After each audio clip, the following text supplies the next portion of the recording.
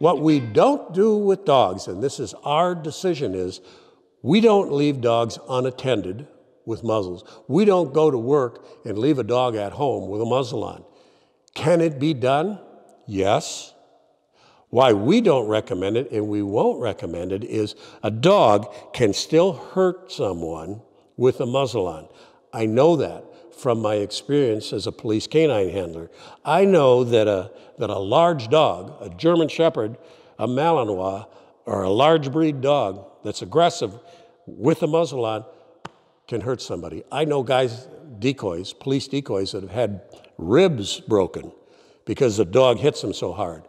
Little dogs can hurt people too. I mean, if you have a if you have a child, a small child come home from school and you've got a little dog with a muzzle on and that child brings a friend in and this dog is reactive and he can go over and he can hit that little kid, he can hurt him. So it's just not worth it.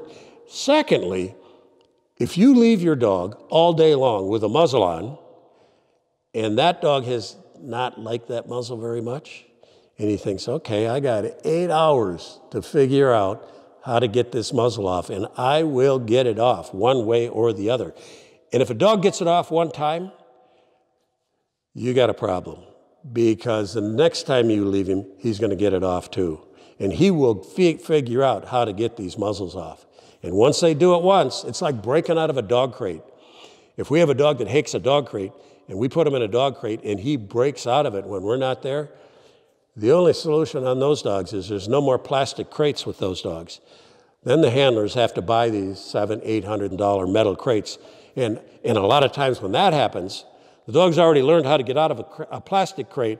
Now he's going to try just as hard to get out of a metal crate, and he's not going to get out, but he's going to hurt himself. He's going to cut his feet up or his teeth up on a metal crate trying to get out before he figures out there's no getting out of this one, and then they'll calm down and lay there. Better off to put him in a dog crate, to put him in a dog kennel, and let the dog rest and stay there without a without a muzzle. We post our social media videos to our website leerburg.com, a week or two before we post them to our YouTube channel.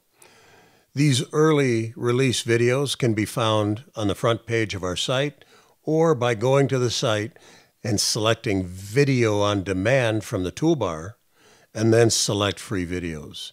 Thank you for watching.